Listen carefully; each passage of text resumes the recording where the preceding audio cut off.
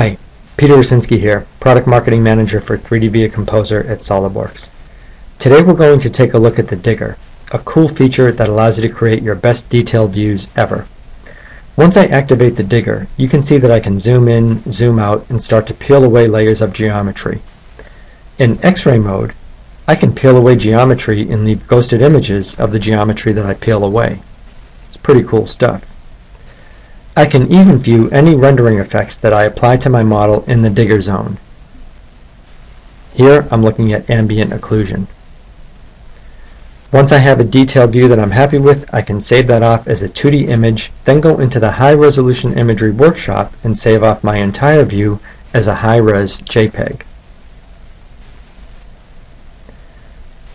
Then I want to take that image and drop it into a marketing brochure that I've been working on in Microsoft Word swap out the picture, insert my new one, and it's as simple as that.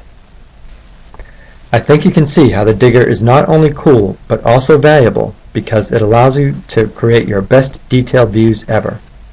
Until next time, clear your mind, focus, and get that project done.